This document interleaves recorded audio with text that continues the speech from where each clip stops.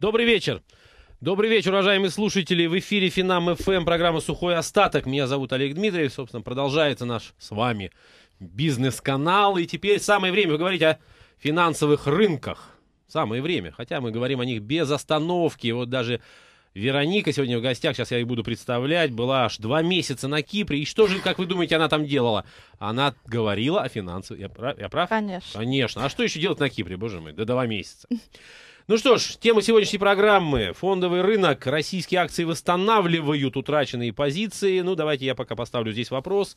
Потому что вчера и сегодня с утра это было бы, может быть, и утверждением. Ну, сейчас посмотрим. В гостях сегодня представляю Вероника Чекина, аналитик фондового центра Инфина. Добрый вечер, Вероника. Здравствуйте. И Максим Асадчи, начальник аналитического управления БКФ банка. Добрый вечер, Максим. Добрый вечер. Максим сложнее, он вчера только прилетел из Таиланда, да? Нет, Шри-Ланки. Из Шри-Ланки. Шри... А что там в Шри-Ланке? Я не понял. Шри-Ланки? Да, там что? Шри-Ланки хорошо. А, понял. Все. Исчерпывающий ответ на такой же исчерпывающий вопрос. Вообще надо сказать, уважаемые аналитики, как-то вы ведете себя непатриотично. Рынок Российской Федерации никак не может нащупать опору, а вы вон по Шри-Ланкам, да, по Кипром все. Но рука все время была на пульсе. А, ну да ладно.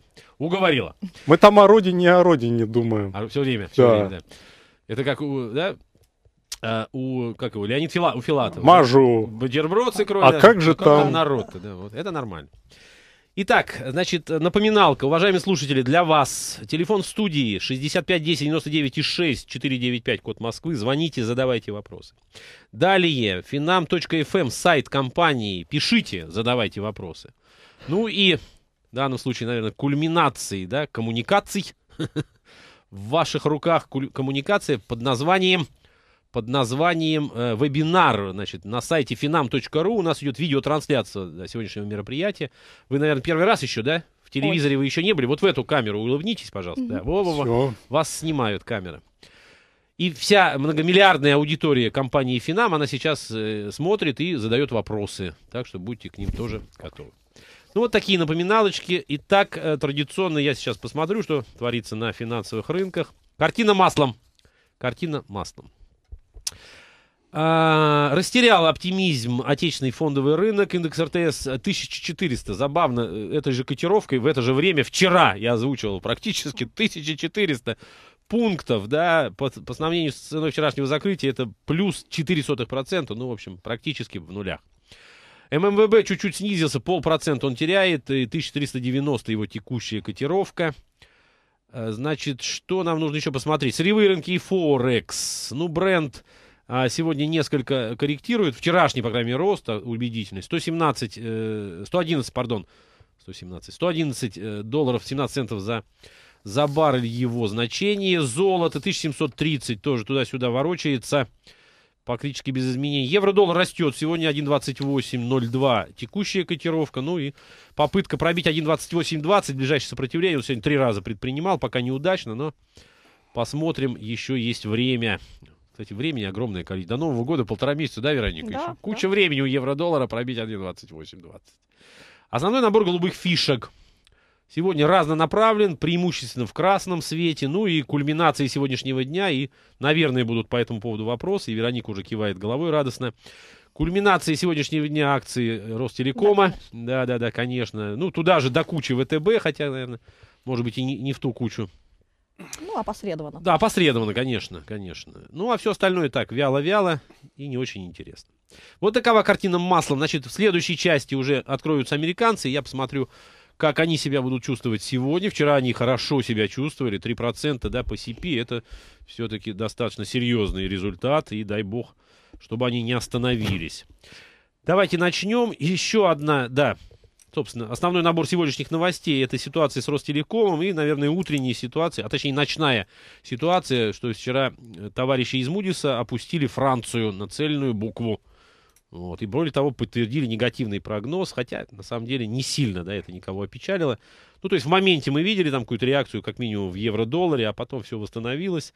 Я думаю, это не сильно... Это небольшая новость, наверное, да, Максим? Ну, с учетом того, что в январе S&P понизила Францию, а тут вот дошло наконец и до Муди Да, с что- некоторым опозданием. Причем дошло именно вот в этом смысле, да? Они сидели все, а потом, ах, надо же Францию понизить. да. Да, в общем-то, и тогда, когда понижали, и тогда Францию, это уже не было, -то, там чохом, э, там 17 или сколько государств Мгм. одновременно До кучи, понижали. до кучи, до да? кучи.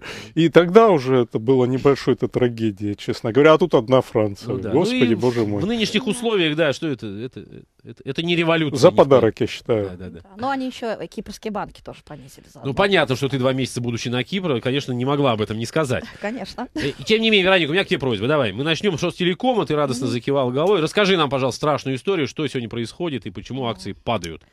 А, Да, произошла такая сегодня неприятная история, несколько даже неожиданно, так она огорошила.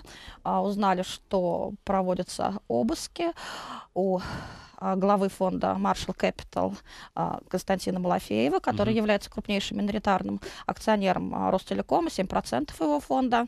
И также проводятся обыски у главы самого Ростелекома, а, господина Провоторова, а, который раньше, собственно, был президентом этого фонда, Да-да-да. Marshall Capital, да? то есть то все есть- не случайно. да, то есть все не Мгм. случайно.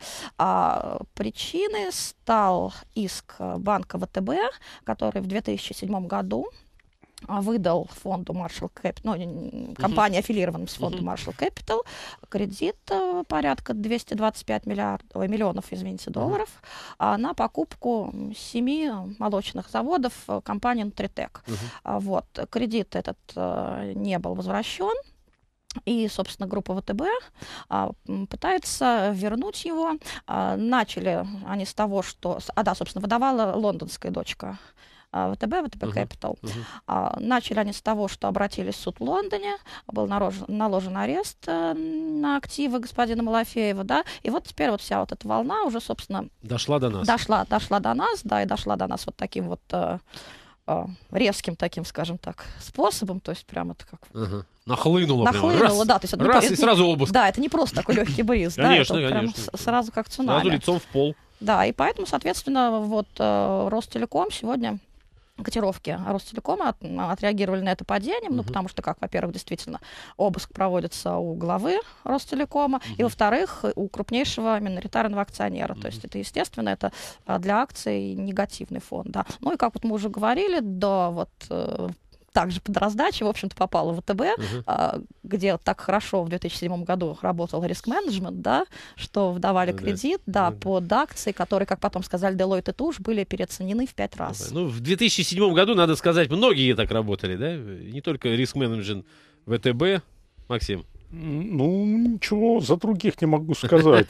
Вот интересный вопрос ведь остается, а другие активы, Да, да, да. которые выдавались кредиты ВТБ, как? Ну, может быть, Да. и до них очередь Да. дойдет, да? Ну, видишь, сейчас вот так. Сейчас вот так.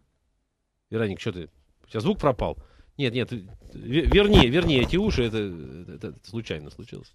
Так, Максим, хорошо, хорошо. Бог с ним с Ростелеком. Понятно, по крайней мере, что, что с ним случилось, да, и чего, а, собственно, от него ждать. Кстати, а чего от него ждать? Вот эта вот реакция на э, э, п- события сегодняшнего дня, она насколько долгосрочно, как ты думаешь? Я думаю, что это все-таки показательный, потому что э, в данном случае все-таки речь идет, э, хотя о высокопоставленном сотруднике Ростелекома, но никакого отношения непосредственно к деятельности компании это не имеет.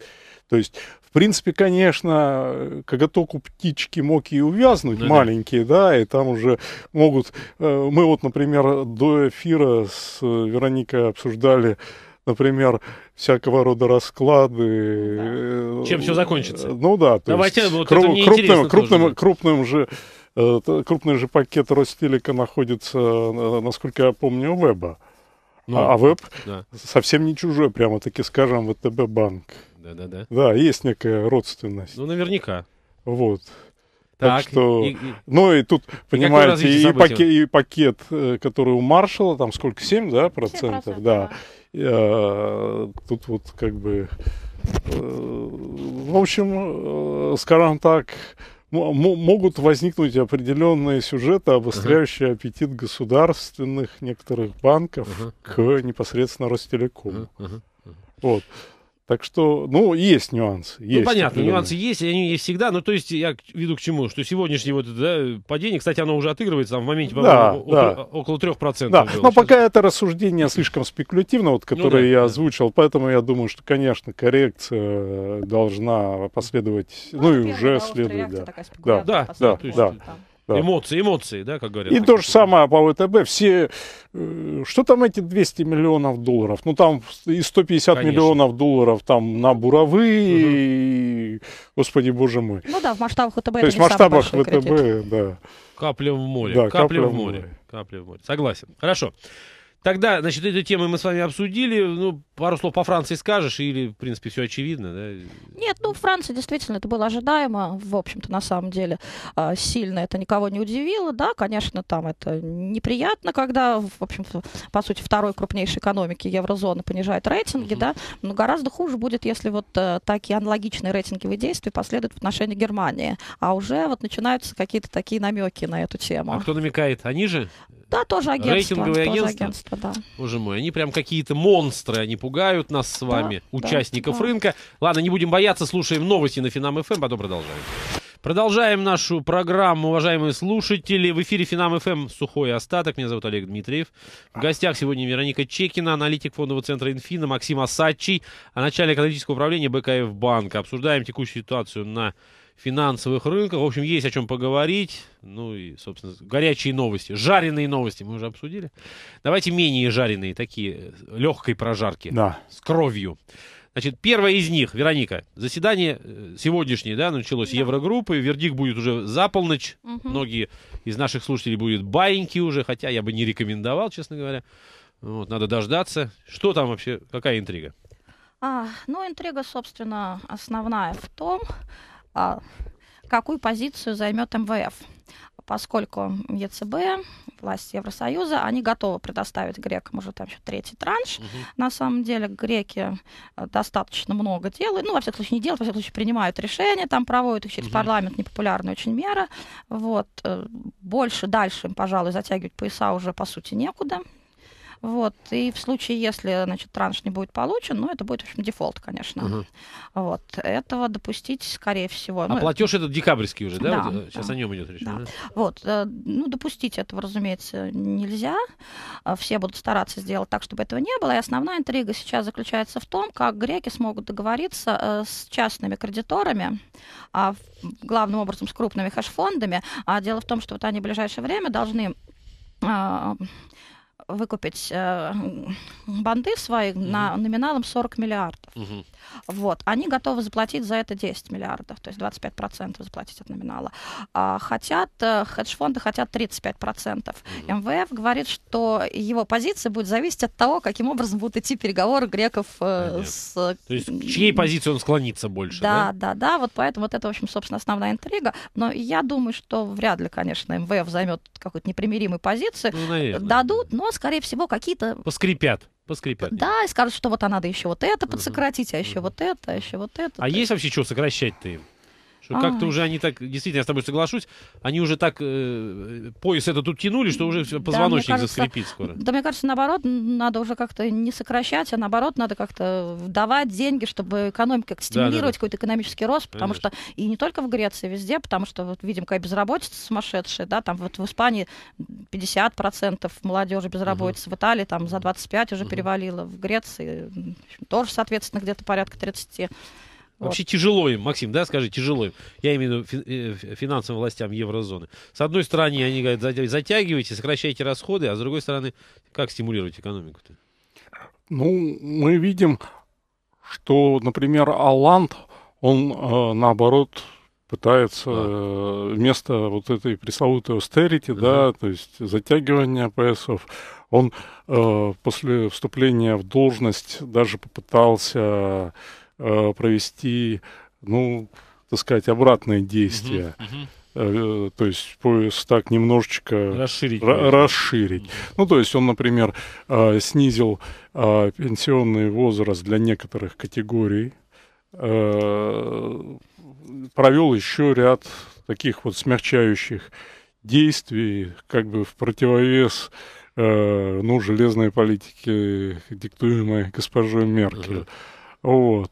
Э, ну, посмотрим. Ну, мы видим, что пока действия господина Аланда не вызывают э, у некоторых рейтинговых агентств большого ну, одобрения. Конечно, да? потому, что, всему, да? потому что все эти его замечательные действия, uh-huh. они нивелируются одним единственным, это 75% налогов, налогов да. Да, да, да. И в результате вот капитал бежит, то есть люди, которые высокооплачиваемые, да, вот, ну сейчас Франция выставляет э, на продажу большое количество там всяких uh-huh. элитной недвижимости, uh-huh. замки в том числе и так ага. далее, да, покупать никто не хочет. Ну да. Ну, да, да кстати, он одновременно, он одновременно же, то есть одной рукой он как бы э, ну, это помогает, конечно. да, популистская Понятно. политика. Одной то есть, дает, а другой да, отнимает. В частности, э, с пенсионерами, там, послабление пенсионерам, а с другой стороны... Ну, он да. социалист, поэтому популизм у него в крови, это ну, естественно. Да, да, естественно. Ему только лишь потрындеть, извините, конечно. Ну как? Нет? Может, и социалистическую революцию устроить небольшую. Не дай бог, сейчас накаркаешь. Подождите, подожди, ладно. Итак, основная интрига, Вероника, я, я подытожу. Мы сегодня смотрим за тем, как договариваются по поводу Греции э, товарищи из еврозоны. Ну, я думаю, интрига интригой, но да, вопрос-то решаемый, скорее решаем, всего. Решаем. Да. Единственное, в худшем случае, если ну, опять немножко поколбасит, что называется, туда-сюда мы сходим, вот, ну, а дальше будем жить и поживать. Это хорошо. Давайте обсудим в этом случае тему фискального обрыва э, Соединенных Штатов Америки. Она уже имеет некие среднесрочные перспективы, она решится не завтра, не сегодня после полуночи. Вот что в связи с этим нам ожидать, ну, от американских рынков и от рынков в целом, Вероника? Нет, ну, естественно, пока все вот это остается в подвешенном состоянии, да, то есть рынки будут сильно раскачиваться, будет высокая очень волатильность, э, поскольку тут же тоже такая интрига насчет того, как удастся договориться э, демократам, у которых большинство в Сенате, угу. и республиканцам, которые, значит, палате представителей большинства. А, каких, э, как они придут к соглашению, консенсусу. Все, в общем-то, основные страхи боятся, что вот опять будут э, такие же баталии, как вот, э, которые да, все да. время при, привели к понижению рейтинга, да, в когда прошлого года, да, прошлого да, года, потолке госдолга, да. Но с другой стороны, в данной ситуации я думаю, все пройдет быстрее, уже хотя бы потому, что а, тогда впереди были выборы, угу. да, и каждый тянул одеяло на себя, всем хотелось. А сейчас они, по сути, выборы я, они все играют уже в одной песочнице. Угу. Угу. То есть э, надо уже, надо уже работать конструктивно, надо договариваться. Выбора нет у них. Да? Ну, друг, друг, другого, другого, другого выбора нет. нет да. И я думаю, что так или иначе, возможно, с теми или, или иными какими-то нюансами, оттенками, они uh-huh. все-таки договорятся. Может быть, даже не к первому января, допустим. Может быть, это даже будет несколько попозже, там тоже растянется немножко. Подожди, раньше 1 января ты в любом случае не видишь, да, решение этого вопроса? А... Не, ну как, 1 января или будет, или нет. Ну да, да. То есть 1, с 1 января, января кончается да. срок. Э, да, да срок. то есть автоматически да, да. повышаются налоги. Это в любом случае да. в этом году должно произойти. Ну, сильно надеемся. Но я думаю, что уже ничего такого сильно драматичного не будет. Там, если, если они подвинут да, на пару если, месячишек. Да. да. Это, это первый момент. Но второй момент, ну, вспомним э, аналогичную ситуацию, как, которая была, когда э, ходили слухи Э, о том, что возможен части, ну, технический дефолт угу. Соединенных Штатов в связи с э, тем, что э, не будет установлен порог э, долга. Ну, да, вот мы... публичного, по, порог публичного долга. Вероника, да, вспомнила. И в, и в конечном итоге ведь э, все благополучно решилось. Ну, то есть, другими словами, вот эта история, вечные эти истории, вечные эти идеи, это просто повод нам с вами немножко мозги пополоскать. Я правильно понимаю? Но это в то же время это создает дополнительную волатильность волатильность, да. дополнительное напряжение на рынке, которое негативно оказывает влияние на рынок акций.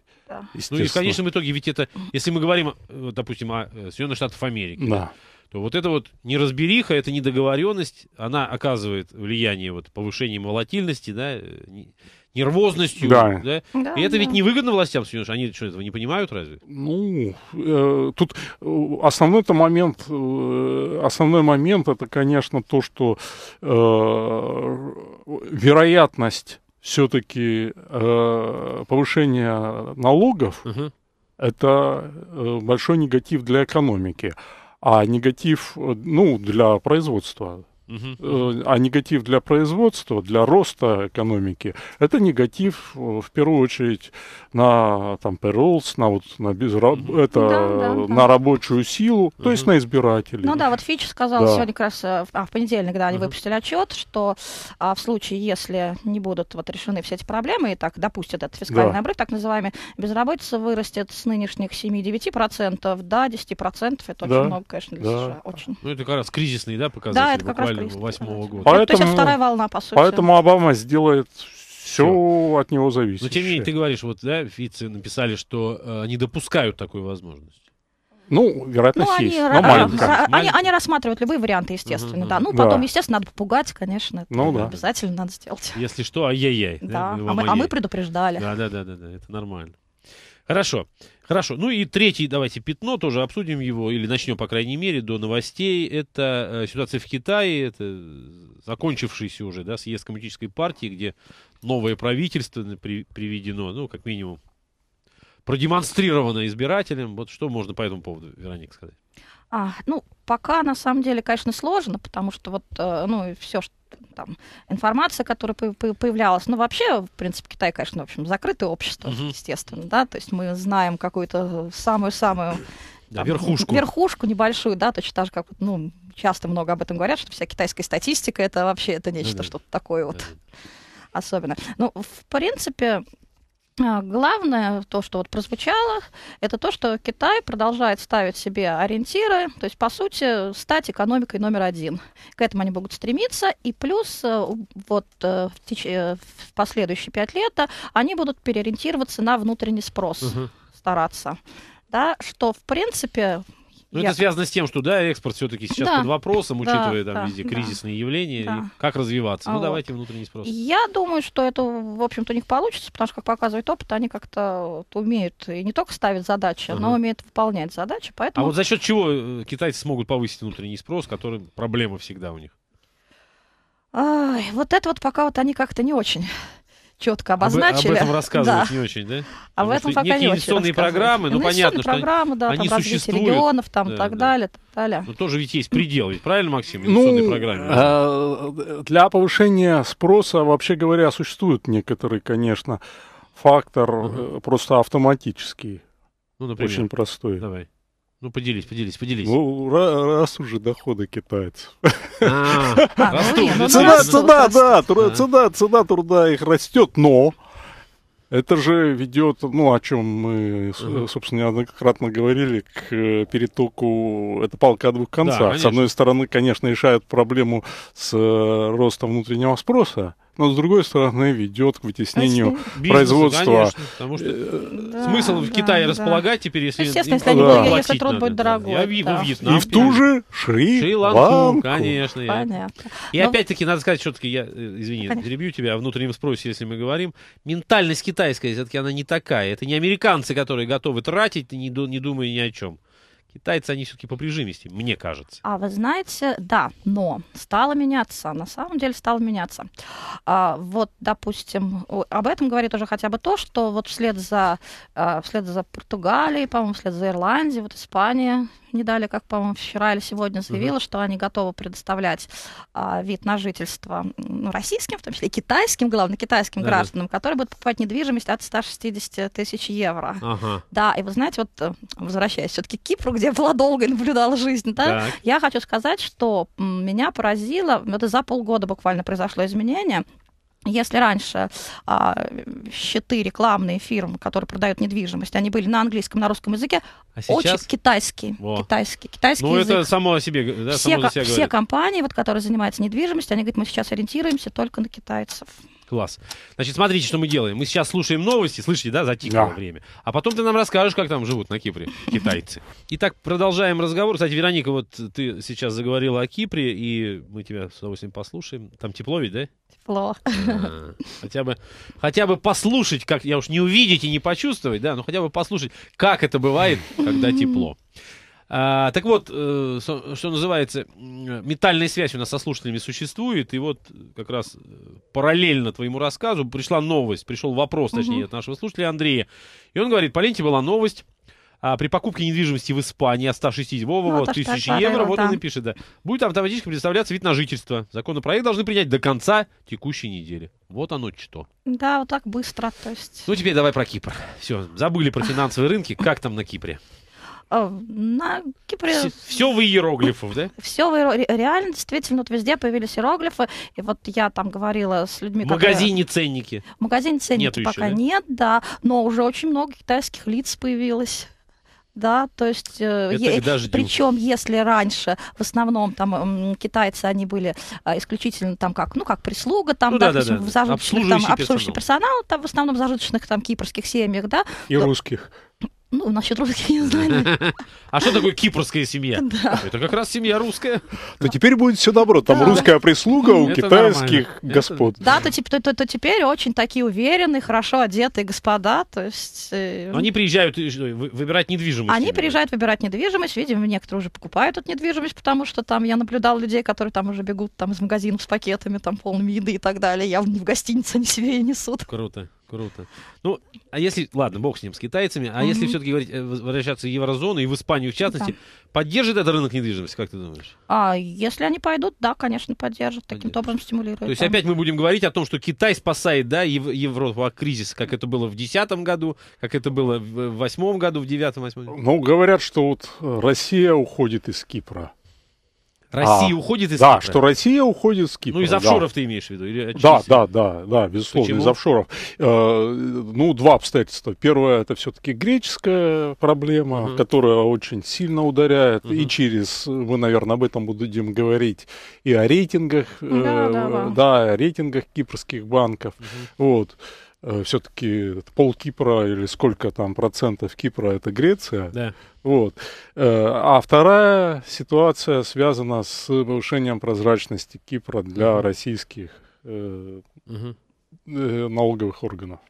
Ну, тут, да, тут, в общем-то, естественно, надежда на китайцев, ну, плюс, конечно, у них надежда, точно так же, кстати, у Израиля, да, которая сейчас тоже очень горячая тема, это на нефть, которую на шельфе нашли газ. Сейчас вот мы об этом поговорим, но предварительно давайте э, пообщаемся со слушателем нашим. Он как раз э, дозвонился. Владимир, добрый вечер, вы в эфире, говорите.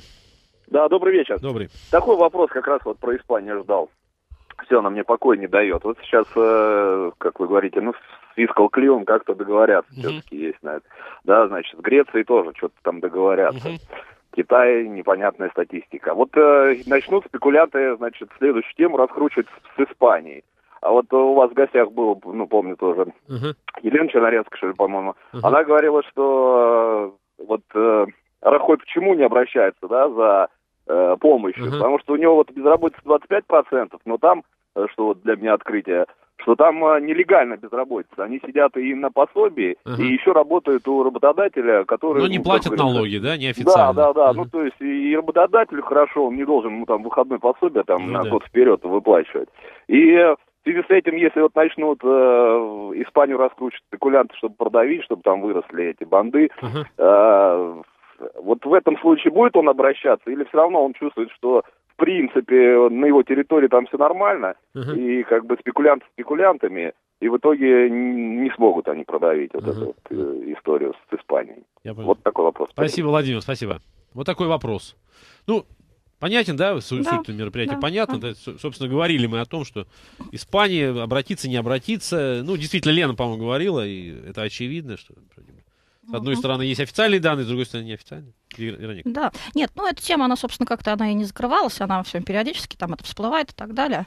А, И будет продолжать еще всплывать до тех пор, пока вот э, в еврозоне такая все продолжается турбулентность. А, ну как, э, Рахой не обращается за международной помощью, в том числе еще и потому, что любая международная помощь, она очень, очень дорогая штука на самом Мгм, деле. мгм. И это определенные новые кабальные условия для страны, которая, в общем-то, и так тоже уже приняла очень существенный пакет ограничительных мер, и тем более, что в Испании своя специфика, да, вот в частности много говорят о Каталонии, да, которые там готовы там прям практически выйти из состава Испании. Мгм. То есть э, у них вот эта сложная ситуация, что все вот эти провинции испанские, каждый там у них свой бюджет и так далее, то есть все это свести воедино сложно. Вот. А Плюс все-таки я думаю, что Испания рассчитывает на то, что в 2013 году наконец-то заработают э, механизмы, которые вот э, создает э, в еврозоне. Это фонд финансовой стабильности европейский, Да, да, да, да. это то, что ЕЦБ будет поддерживать, выкупать их банды там э, в случае, если доходности будут там взлетать там к 6% и Мгм. выше. Вот. Поэтому вот обращение за международной помощью это крайняя мера, которая, в общем-то, наверное, пока еще можно к этому не подходить, потому что не исключено, что ситуация все-таки действительно как-то так или иначе нормализуется. Ну, смотри, а Владимир говорил о том, что некие спекулянты, они вот пытаются сейчас, да, Ну, спекулянты, естественно, пытаются наброситься на Испанию, да, продавить. играть, да, потом Насколько еще, еще не обсосана такая вкусненькая косточка, как Италия, да, Да. это все впереди уже тоже начинаются там разговоры. Ага, вот ага. как вот, да. В общем, тут Ну много ладно, еще. ладно. Кстати, вот Андрей вдогонку присылает нашим э, разговорам о э, испанской недвижимости. Если в Испании напишут русским скидка 10-15%, то, видимо, будут очереди из русских. Ну да. Да? Как ты считаешь, Максим? Ну, недвижимость-то, как бы, конечно, много где э, сейчас э, дешевой недвижимости. Вот. Сейчас вот я думаю, в Израиле будет очень дешевая недвижимость, особенно вот близко к сектору газа. Ну вот давайте Ну, сейчас, давайте. Да. сейчас об этом, да. Ну, как, как это, да, как это, собственно, э, не прозвучит. Это сейчас горячая точка, по сути, да, формируется. Да, Новая горячая да. точка. Да, эта горячая точка сформировалась. Давно уже- уже, согласен, да. Мгм. Она то загорается, то гаснет. Это И так, дай бог здоровья этой горячей точки, потому что чем а, э- эти точки э, на Активнее. Ближнем Востоке активнее, тем выше нефть. Ага. Все-таки недалеко от залива.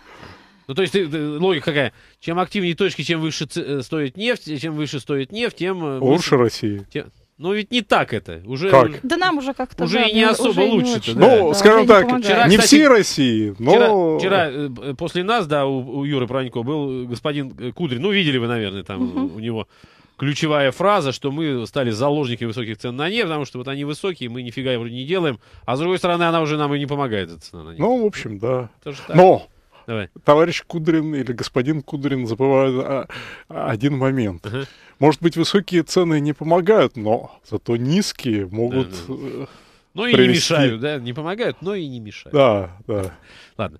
Вернее, давай вернемся. Итак, что же происходит сейчас вот э, в пресловутой горячей точке этой, да, и какие ожидания есть?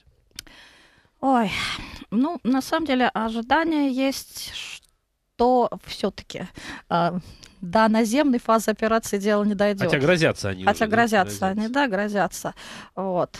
В принципе, в общем-то, очень хочется надеяться, что ограничится вот этими там бомбардировками, Мгм, да, мгм. и что, более того, как это уже бывало, да, там же все перед выборами в Кнессет обычно вот это обостряется, вот вся вот эта ситуация. Мгм. И сейчас вот тоже, вот я не очень хорошо помню дату, когда пройти должны выборы Кнессет.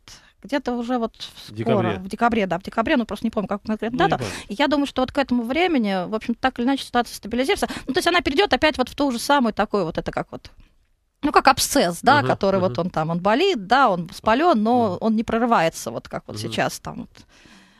Ну, это, э, я понял, да. Это что касается непосредственно ситуации, а э, с нефтью как они, это будет коррелироваться? То есть э, вот это напряжение, оно будет поддерживать, да? Любое напряжение Да. на На Ближнем Востоке в непосредственной близости от залива, через который там проходит чуть ли не половина, Ну что ли, да, да, э, конечно. мировых потоков нефти, это автоматически вызывает болтанку. Ну, то есть можно посмотреть последнее время, какие идут хорошие движения на нефть. Да, ну когда вот это отыграют, да, Красиво. я надеюсь, что вот э, в декабре все-таки вот Ну эта да, горячая точка событий. да, то тут, наоборот, цены на нефть могут оказаться под давлением, потому что тут начнут опять насчет фискального обрыва говорить, да, и Мгм, тут как мгм. раз, наоборот, цены пойдут вниз, там на опасениях новой рецессии. Да. То есть нефть ожидает такое, в общем-то, веселое. Такое. Веселая жизнь, ну и, Да. собственно, как Максим э, нам эту э, цепочку нарисовал, веселая жизнь и нас ожидает, я правильно понимаю? Ну, Веселуха-то будет? на, на- на самом деле, пока, пока э, нефть удивительным образом почти весь Да. 12 год пребывала выше Да, 100. да, да, Да, Держится, Да. практически держится там на одних уровнях. да. Дай бог ей А здоровья. прогнозировать, мне кажется, вообще невозможно. Не, ну прогнозировать это дело неблагодарное. мы этим- Понятно, да, что. Мы этим с вами и не занимаемся. Вот. Ну, пытался понять. Еще раз я повторю. С одной стороны, действительно, опять мы в очередной раз говорим, да, российская экономика э, экспортно ориентированная, ориентирована на стоимость сырья. Вот, растет нефть, мы, а вот мы видим последний там месяц-два уже, и корреляции такой нет. Ну, по крайней мере, жесткой корреляции, в том плане, чтобы нефть высоко, а рынок падает, и ничего. Деньги утекают, кстати, по поводу оттока капитала. Да, Вероника. да, да. Деньги, ну, рынок вообще стал совершенно практически неликвидный, то есть, э, ну, очень небольшие, Никакой, ни- никакой. никакой, очень небольшие обороты совершенно. Мгм. Вот. Тут Bloomberg связал, в частности, то, что Да-да-да, обороты я в последнее читал. время, да, совсем понизились с переходом Это на смешно, зимнее время. это смешно. да, да. Ну, в Блумберге-то все-таки, ребята, уважаемые сидят, нет? Или уже не Да так? нет, ну это, это, Всякие конечно, это, это, конечно, смешно. Шутка, Да. может, шутка Да. такая у них Ну, Может быть, может быть, юмор. Не говори, ну просто до смешного доходит, как говорил известный Да, персонаж. Значит, смотрите, открылись американцы, я обновил страничку сейчас и дорисуем картину маслом. Собственно, и Dow Jones, и э, CP в минусе сейчас на полпроцента практически. То есть вчерашний отскок, да, наверное, это так э, есть смысл назвать, или коррекция к падению, вот она э, больше э, пр- продолжения-то и не имеет, не имеет. Ты считаешь это оправданно? Ну, я думаю, да, после такого резкого роста, конечно, хотят зафиксироваться. Просто зафиксироваться. Да, я думаю, сейчас да, Ну- потому что такого что-то, чтобы вот э, резко начать падать, или точно так же, как и резко начать Ну, расти, вот, нет. вот, вот нет в этом ничего. смысле. Потому Да. что если смотреть на тот же самый индекс S&P 500, да, ну там, понятно, много всего можно наговорить, и отыгралась разворотная фигура, и упали на 1350, где есть поддержка, и даже я вот сейчас извращенным своим фантазией нарисовал нисходящий канал, и он ударился в линию канала, а потом отскочил. Опять 200-дневная скользящая, сколько всякой, да, ерунды Да, да. напридумало человечество, чтобы объяснить непонятное явление абсолютно. Так вот, 200-дневная скользящая средняя сейчас проходит на уровне 1380. Вчера закрылись 1382, по-моему, или 3, а сейчас торгуемся 1381. Вот вам и вся история в трейдинге. Все связано Да. с 200-дневной скользящей.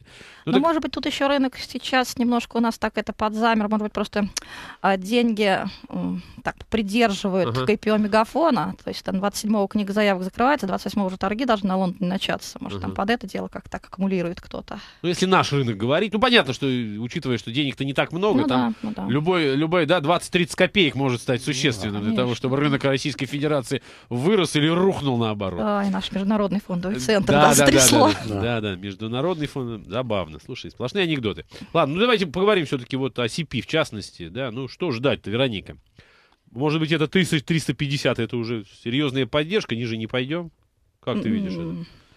Ну, в общем, возможно, возможно. Надо, знаете, как, надо пока, я бы не стала говорить, надо посмотреть, как вот после Дня Благодарения будет, потому что сейчас же, в общем-то, э, сейчас там не будет особо никаких движений, там Мгм. уже, что называется, все трейдеры, наверное, уже это на Гавайях или Да. едут. Ну, по крайней мере, да, уже собираются. Да. Сколько, сколько им, а им до Гавайи, кстати, как нам до, до Сочи, да, я Да. так понимаю? Там не, Ближе, ближе. Ближе Да. даже. Да. Что они торопят. Они торопятся. У нас, э, у них, точнее, праздник в четверг, да, то есть завтра они начнут разъезжаться, сегодня еще поторгуются, посмотрим, как они Да, закончатся. поэтому я не думаю, что какие-то резкие движения будут вот все Мгм. вот эти дни. Тогда получается, что у нас сегодня, да, эта неделя, ну, такая вот э, будет вяло текущая в связи с э, праздником известным, а потом уже закрытие месяца, ну, и ожидание каких-то событий декабрьских. Ладно, об этом мы продолжим после того, как послушаем новости на Финам ФМ. Итак, продолжаем.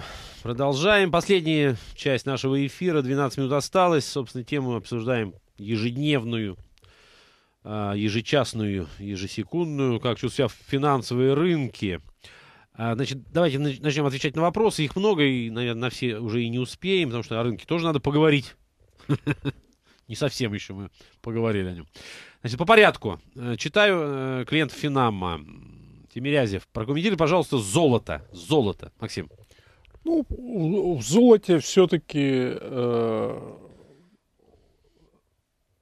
ситуация, ну, скажем так, определенного успокоения на международных рынках, Мгм. снижение волатильности, отсутствие каких-то серьезных, э, ну, скажем так, негативных факторов, Мгм. которые имеют место быть, Мгм. соответственно, транслируются в медвежий тренд. Мгм. Определенный медвежий тренд, который, я думаю, скорее всего, будет достаточно устойчивым. То есть будет Вот. продолжать снижаться золото, да? Есть, конечно, некоторые, некоторый момент, э, связанный с тем, что он, может быть, не будет излишне сильным.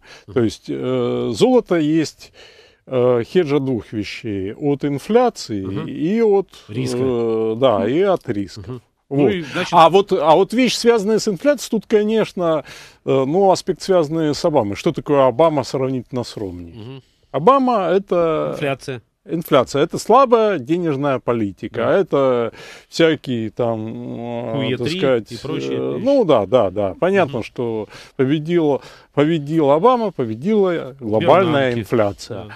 И это значит, что, э, конечно, определенный вклад дает все-таки в... Это, ну, это был бы бычий, бычий тренд, в в золоте. золоте, Ага. но его нет, то есть все-таки более, э, э, более сильно именно в- тенденция снижения волатильности на рынках. Мгм. Но она, вот эта, так сказать, тенденция, она ослабляется как Мгм. фактор, э, э, ну вот с вещами, связанными с инфляцией. Мгм. Так что пока, я думаю, этот фактор будет более То есть вниз ты смотришь более по золоту? Пока по золоту, да. Вероника. Пока по золоту вниз. Да, да, я, в общем, целом согласна. Ну, Единственное, действительно, вот, э, если действительно вот, э, инфляция скачнет, скакнет в США, а если... а, Ну, Скакнуть она вряд ли Ну, скакнет. Это сильно нет, конечно, Слово-то такое. да. Если как Ну, и это, почувствуем мы там через почувствуем, несколько да, лет, что-то когда там, да, Да Да, ну, Ну, тут четыре, пять, шесть. Тут еще вот а, возможен такой вариант, что все-таки европейцы они поменяют политику, допустим, ну Германия главным образом, да, и от э, методов урезания бюджетных Мгм. расходов Мгм. перейдут к- как раз все-таки к стимулированию экономику через э, расходы, да, то есть, соответственно, тогда э, в еврозоне Мгм. инфляция, в общем-то, тоже увеличится, с чем пока вот они просто немцы изо всех сил там борются, упираются, да, помню свои гиперинфляции, там, Мгм. это начало века прошлого. Вот. Ну, то в этом случае тоже, конечно, это будет э, таким мощным там триггером для роста золота. Мгм. Вот. Но это все пока действительно если, а в данный момент это, этого пока нет. Более того, последние данные показывают о том, что а, доля золота сокращается в, даже в центробанковских резервах. Да, то есть э, основными игроками были центробанки на этом рынке. Вот они сейчас стали менее активны намного. Понял. Так, следующий вопрос. Что с Рофни... э, Причем вопрос такой философский. Что с Роснефтью было и будет? Хорошо. Ну, чем сердце успокоится. Лучше. Было, Ну, есть и будет. Ну, в Роснефти как бы два фактора можно рассматривать. Это внутренний и внешний. Ну, Так. внешний, понятно, фактор – это нефть. А нефть, товарищи, у нас высокая. Об этом мы уже сказали. да? Вот, и об этом мы уже сказали. А есть еще и внутренний фактор, который, собственно, уже, в общем-то, от- а- а, в значительной степени отыграл, но отыграл позитивно, да. Понятно, что откусимши хороший кусок от BP, Мгм. в общем-то, худо никакого Не случилось. Роснефть, да, не получит. Вот. Обычно, э, ну, в финансовой теории э, с- э, при рассмотрении ситуации поглощения, когда компания А поглощает компанию Б, Мгм. э, стандартно работает простенькая моделька, Так. что э, компания А, то есть агрессор, Ага. Она, Хищник. э, да, она испытывает, видимо, какое-то несварение, и ее акции падают. А, А компания Б, то есть жертва, да. Вот, она наоборот, так сказать, поскольку, поскольку резко возрастает спрос на Да, нее да, со да. стороны Мгм. агрессора, Мгм. да, То то, соответственно, то, соответственно, растет. Ну, Вот, ничего замечательно. подобного мы не видели ни со стороны, э, так сказать, А, сидевшей Мгм. на трубе, ни Б, Мгм. вот, э, ну, в частности, вот Роснефть у нас показывает... Не, ну там наоборот, да, это скорее всего. То есть Э, Роснефть пока- росла пока- нас показывает хорошую нефть, ну, потому что э, международные тут теории не действует, тут российская теория, Мгм. Товарищи, и даже, я бы сказал, практика. Практика, Вот. Да, поглощение. Вот, мы помним эту хорошую практику поглощения, например, на Банке Москвы. Очень хорошо поглотили, вот, э, по-русски, я бы прямо сказал. Хорошо, Вот. значит, смотри, вот э, мы там посмотрели сейчас текущие, да, э, Да. котировки, там в районе 250 долларов, там, долларов, да, прости, ну, прости. рублей. Прости, оговорился. В районе 200 рублей, да, за акцию. Есть потенциал у нее для роста еще? Ну, до 250 долларов есть. Ну ладно, ладно.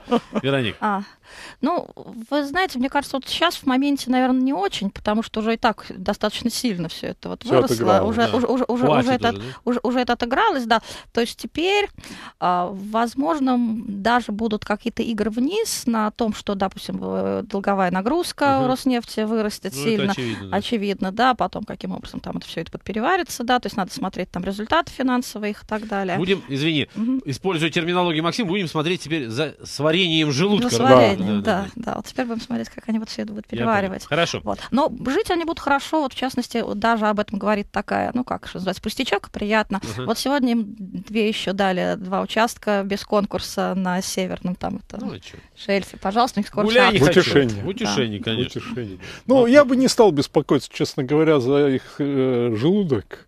Желудок у них хороший, а если долговая нагрузка, ну, не дай бог, там где-то как-то возрастет, то есть доброе Ну государство, да, если которое... им общем, помогут, да. им помогут. Да.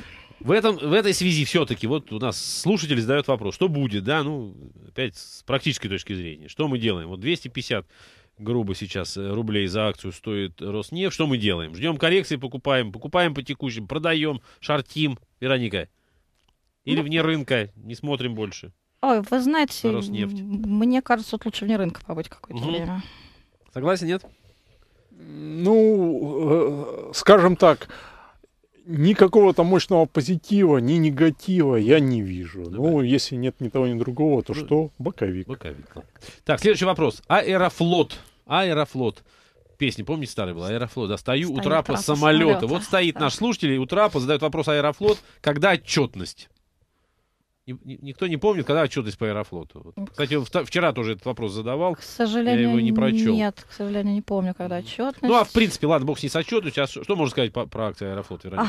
Ну как, ну вот у Аэрофлота выходят периодически такие хорошие там релизы. Вот когда вчера, по-моему, вышел насчет того, что у них там пассажир-поток увеличивается мгм. значительно. Ну это понятно, это, в общем наш монополист, по сути, да, то есть там хозяин-барин. Вот. Но вы знаете, я бы насчет акций Аэрофлота как сказала, если человек хочет диверсифицировать свой портфель так или иначе, ну, можно иметь акции Аэрофлота. А как-то в них вот э, играть как-то серьезно, да, сознательно, сознательно играть, лезть, то есть я бы не рекомендовала. Давай Там еще. единственное, можно э, поспекулировать, я, вот, к сожалению, э, не помню э, полностью, э, ведь у Лебедева есть какой-то пакет. Ну, что-то есть, да, Что-то хотел есть. продавать. Ну и да. надо же ему как-то будет все-таки урегулировать ситуацию с НРБ. Вот. Мгм. То есть, ну, скажем, может быть такая идея, что э, со стороны Лебедева будет выброс акций Ну, Аэрофлота на рынок, а это что? Негатив. Возможно, да, возможно, да, возможно и нет, потому что, возможно, он постарается продать свои акции там по-тихому, как Ну, это, То есть вот это... это, это, ну, Ну, такие кулу- это ловить эти моменты, Да, если инсайт какой-то истории, есть, да, да. ну да, но пока Это не очень благородно. М. А вот есть, про, собственно, о, о- о фишке, да, основной нашей вопрос. Э, Сбербанк обычка. Перспектива до середины, э, до марта следующего года. А, я не ожидаю какого-то серьезного роста. Мгм. Вот, потому что все позитивные какие-то данные обыграны. Ну, то есть вот э, э, единственное, что, ну, вот отчетность, да, за 9 месяцев, когда выйдет, да, она ведь, я даже не помню, в этом году, уже в следующем, в следующем, наверное. Вот, возможно, какой-то там это всплеск движения там на, на ну, хотя, с другой стороны, уже э, достаточно длительное время на фундаментальные показатели, к сожалению, не обращает внимания инвестора, да, и дополнительная волатильность, конечно, сейчас продает то, что э, пакет вот достаточно Мгм. приличный, стал Мгм. торговаться на Лондоне, вот, и, И соответственно... оттянул оттуда, туда еще, да? Да, оттяну, Да. а- а- оттянулась туда часть нашего рынка, который и так вот э, денег, денег мало на рынке. Поэтому, ну, на Сбербанке я бы советовала тогда играть на арбитраже. Мгм. пробовать. Ну, у кого есть У возможность. кого есть возможность, да. Ну, я определенный негатив, хотя и слабенький для Сбера вижу в связи с э, его потугами выхода на международный рынок совершенно ненужными. Ну, Мгм. еще Турция с Денизом туда-сюда. Ну да, там Мгм. Турция рейтинг-то повысили. Но VBI, зачем им понадобился этот VBI? Я понял, что уже э, от этого им много, многое печаль, потому что им уже пришлось докапитализировать Мгм. VBI. Вот. Ну а смысл тогда? Зачем действительно это все Абсолютно, это, это была абсолютно непонятная мне операция. Мгм. Приблизительно то же самое, когда они пытались купить этот автозавод. Ну да, ну да. То- то- то- то Opel, да, ну помните вот Да, эту всю да. историю. То есть зачем э, Сбербанку понадобился Opel, так Ну, же, как и в BI. Мгм. То есть это куча банков в среднеевропе, ну, Мгм. во- восточно Ага. с- и центральная Европа, да, есть такой ЦВЕ. писатель, да, американский, Томас Вульф. У него Мгм. роман есть, называется «Хорошо, костры амбиций». Да, Вот да. я думаю, это как раз Вот- что-то вот из этой. Спасибо Да. тебе, да, очень хорошо, что мы не только говорим Да. а, да, о финансах, а Да, еще каса- а- касаемся искусства, литературы. Значит, прежде всего я сделаю а, анонс. Юрий в день российской оппозиции. Стоит ли вновь выходить на улицу, какие-нибудь требования. В общем, а, в следующем э, за нами эфире Юрий Пронько будет в гостях э, Ксения Собчак. Не переключайтесь. Я благодарю моих сегодняшних гостей. Это была Вероника Чекина, Максим Амсачий. Вам, уважаемые слушатели, я говорю, всегда есть возможность для того, чтобы заработать деньги на финансовые рынки. Главное, с умом, а еще лучше с творчеством подходить. До свидания, успехов!